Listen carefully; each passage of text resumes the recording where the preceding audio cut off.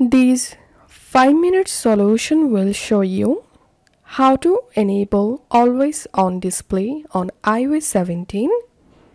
First of all, go to your iPhone settings, scroll down.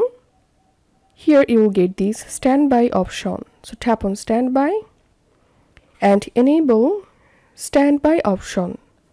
Once it's enabled, you have to charge your iPhone so charge your iphone and now you have to put your iphone on a stand in landscape mode.